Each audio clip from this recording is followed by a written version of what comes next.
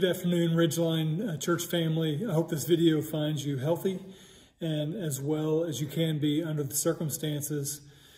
Uh, they certainly are crazy circumstances. I doubt that anybody um, could have anticipated that we would be here today talking about the things that we're talking about, but um, we are all adapting and trying to remain flexible during this unprecedented time in the life of our church and in the life of ministry. Um, we've probably never been through anything like this before, and um, it could be that we will never go through something quite like this again.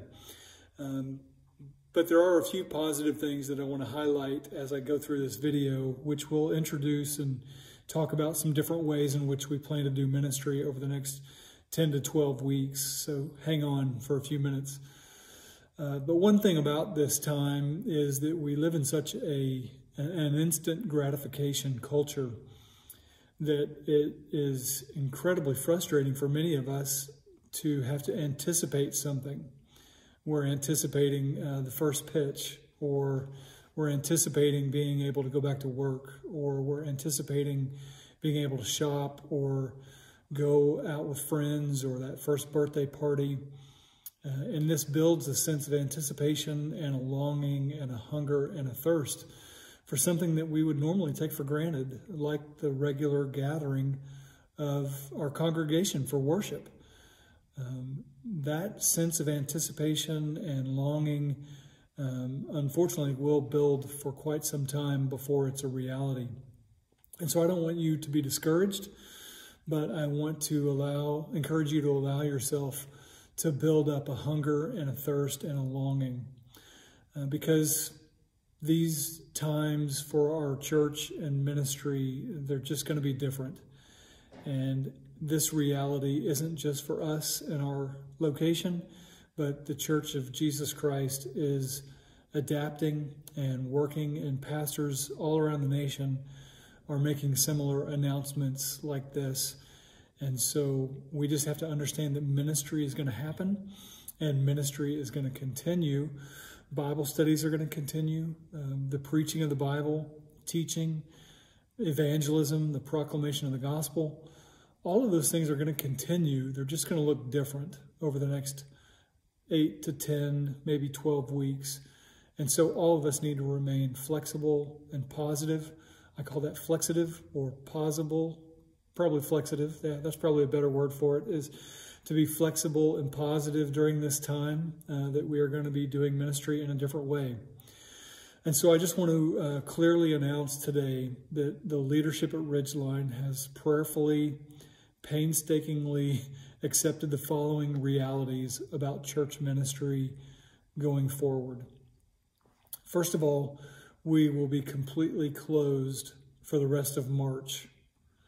That is, no small groups, no meetings, no rentals, no building activities, uh, limited office hours, mostly officing from home so that we can care for and protect the health of our employees and vendors and people who are regularly in the building. So the building will be completely closed and there won't be any ministry activities at all for the month of March.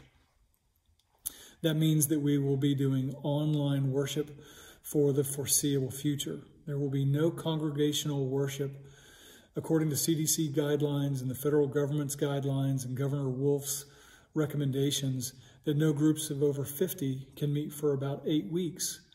So that puts our next possible congregational worship, unless things change, back to May 17th. Um, so until then, we will be doing online worship. We're going to post sermons and worship songs on our YouTube channel first, and then we'll post links to that on our website and on our Facebook page, not page, page, on our Facebook page. Listen close. If you need to take notes, go ahead and take notes. But our YouTube channel is youtube.com and then search for Ridgeline Church. I think last time I checked, there were four or five Ridgeline churches. But you'll see Ridgeline Church. It'll have our logo, uh, the red and gray logo. And so that's Ridgeline Church.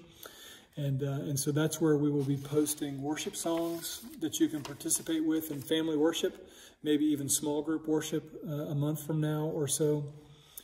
Uh, but also, you need to like the Ridgeline Community Church Facebook page. Now, that's a public page. Many of you are a part of a Ridgeline plant. It's an unofficial private page, but that's not the same thing.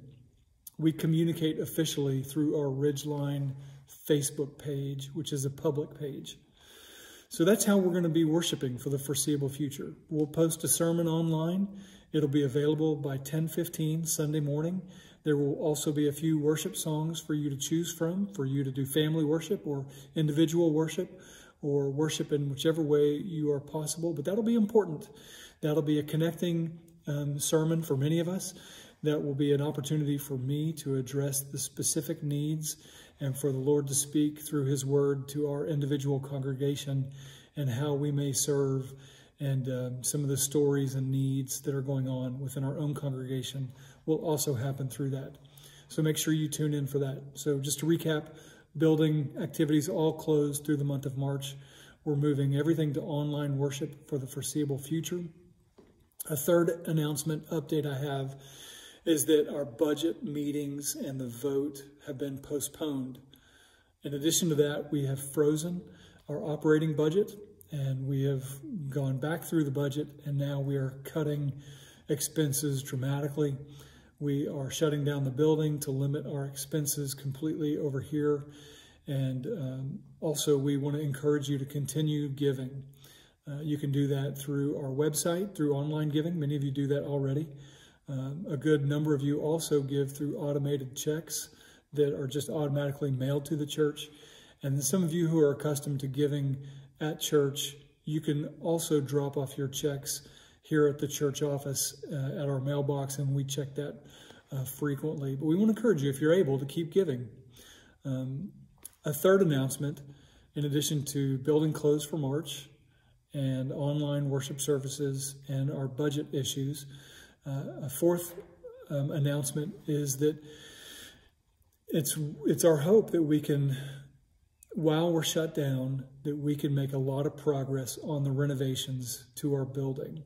So while we've shut down our operational budget that we spend out of our receipts and offerings, we hope to open up some of the softball field sale money and then we hope to just really push the gas down on some of our renovation projects, including the ceiling, uh, the, some of the painting, some of the flooring, uh, the stage, some of the other areas that are going to take place within the church. We were going to have to shut down um, the worship or move worship offsite or rent a tent or something for a period of four to six, maybe eight weeks anyway, so that we could do some of these necessary renovations. But it's our hope that if, if uh, the government opens up some things and that if we're able to safely move about without um, compromising public health and safety, that within a two or three week period, we can start really flooring it when it comes to renovations and some projects that we would like to get done. So that will make May 17th um, even more uh, something special to look forward to is to come together in a renovated and clean, uh, cleaned up facility we hope that we can get some of these projects finished during the shutdown. And it's at very least, we hope that we can make some progress during that. And so that's a prayer request as well. The fifth major announcement that I have uh, today is that we want to care well for each other. We want to be uh, really well, we want to care really well for the people in our church, the people connected to our church, and the people in our community over the next 10 weeks. It's our goal to contact every family and individual that attends this church um, once a week at least over the next 10 weeks. So, over the last few days, we've been working really hard to develop a system by which all 85 families and individuals and people who are connected to Ridgeline receive weekly contact and prayer and communication and video and posts and even group prayer or online prayer meetings. Um, we set up a special website I mean, sorry, website. We set up a special email address so that you can communicate more efficiently your needs as it relates to the coronavirus and to job situations and to financial situations and for prayer requests. So jot down this email address. It's care at ridgeline.cc. That's care at ridgeline.cc. We've also set up a structure by which the staff members and the elders at Ridgeline can um, communicate through some ministry leaders, and those ministry leaders can communicate through a group of partners, and those partners will each have a handful of families that they will check up on. Uh, so we hope to make more intentional, structured, and organized ways in which we are communicating and caring for and praying for and praying with and meeting the needs of the financial needs, the prayer needs, the medical supply needs, the grocery needs, all the needs that we can anticipate meeting over the next 10 weeks. We have put together a system in which we hope to meet those needs really well. Let me close with a couple of uh, challenges that um, are going to take place over the next 10 weeks. Uh, number one, you're going to have a choice to make. You're going to have a lot of choices to make, but let me challenge you in your choice in uh, three or four key areas. Number one is intake. Uh, over the next 10 weeks, you have the option on what you're going to intake. Uh, you can binge on news and cycles and Facebook and Netflix and panic and all kinds of things like that. You can binge on all that. Um, or you can saturate yourself with Scripture. You can saturate yourself with prayer, hope. You can love your neighbor well. You can, you can come out of this 10 weeks with a much stronger faith in Jesus Christ and a much more solid foundation of walking with Him and knowing Him personally. And that's only going to be related to the amount of intake that you receive. So if you're going to binge on Netflix and video games and movies and and series and, and TV shows and, and news cycles and all those kinds of things, um, that will not develop within you a stronger walk with Jesus if you had chosen to saturate yourself with Scripture. Some of you are going to have more time on your hands. Uh, you could double or triple the amount of Scripture that you read and meditate on and memorize and focus on you're going to have a choice on what intake there is for you. So my challenge is for you to watch your intake. Jesus said, "As the eyes of the uh, are the lamp of the body, so uh, also what you receive is going to dictate what is produced within you." And so I hope that you'll saturate yourself with Scripture.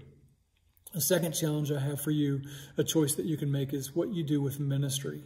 Over the next 10 weeks, you're going to have a choice in how much you allow your light to shine in the darkness um, your friends, your neighbors, your family members, your coworkers, people all around you are going to go through various um, cycles of anxiety and fear and depression and good times as well, uh, worry and stress.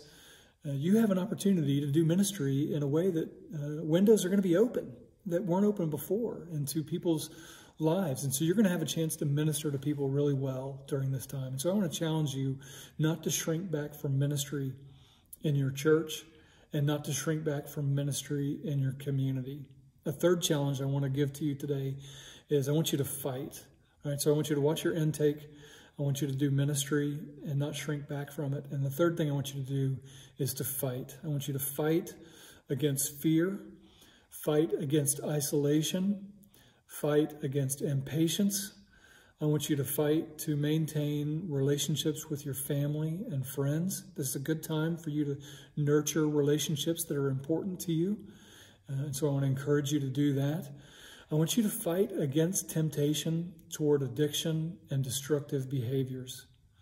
I want you to fight uh, to comply and to cooperate with your local authorities with our state leaders and our federal our, our government leaders. Review Romans 13. We have an obligation to obey the leaders that God has put um, over us. I want you to fight to be a good neighbor.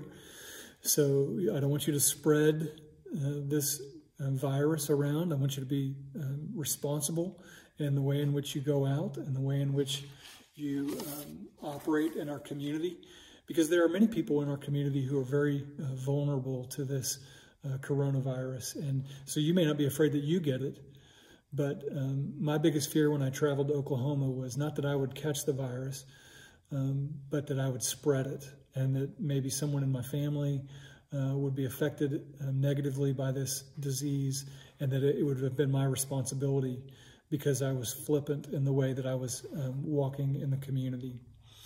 So I want you to, um, to fight. I want you to fight for those kinds of things. Uh, and then the last thing I want to say as I close this really probably too long of a video is to keep in mind that everything I'm saying right now could change in two weeks. I mean, honestly, two weeks ago, we were in a totally different place. Two days ago, we were in a different place. Um, and so information is new and incoming, and everybody has to maintain flexibility. And so just understand that some of the things I'm saying now, um, we're going to have to adapt and change and, and alter our strategies and our uh, ministry plans. So just be flexible and stay um, in tune and in touch.